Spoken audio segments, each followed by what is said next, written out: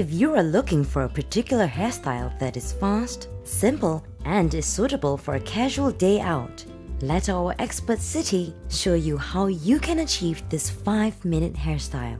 It will be easier to work on your hair by dividing your hair into a few sections before you begin. Comb the hair evenly and make sure that it is free of tangles. We want to add some volume to her hair by creating some curls. To do this, you will need to use a hair curler. When the curler is heated up, take a small section of the hair and rest them on the comb. Slowly run the comb through the hair simultaneously with the curler until it reaches the end of the hair. Repeat this motion twice. You will feel a difference in the hair texture as it becomes softer and smoother. At this stage, you can start from the middle section of the hair and continue with the same motion.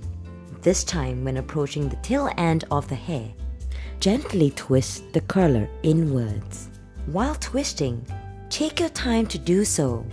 This will allow the curls to stand out more. Once you are happy with the curl, repeat this routine for the rest of the hair.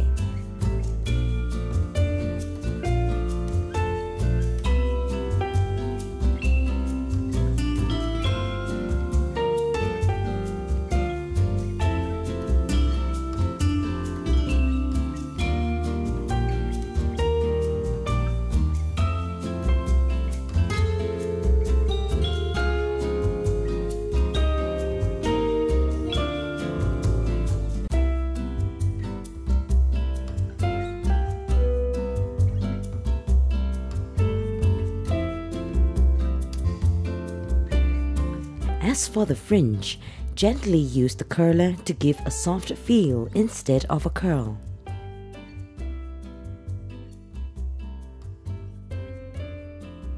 Now, Belinda will show you how easy it is to do it on her own.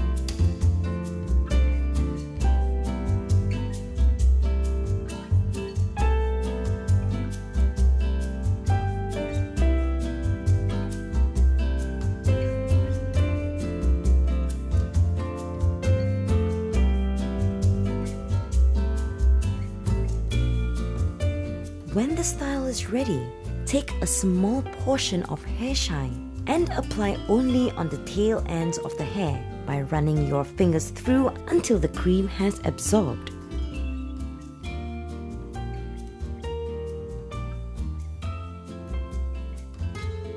Lastly, if you have a short fringe, use a hairspray to hold it up so that it looks neat and tidy.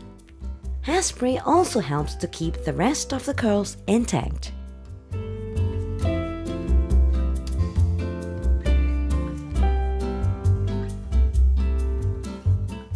I'm Siti for my Fat Pocket. Thank you for watching.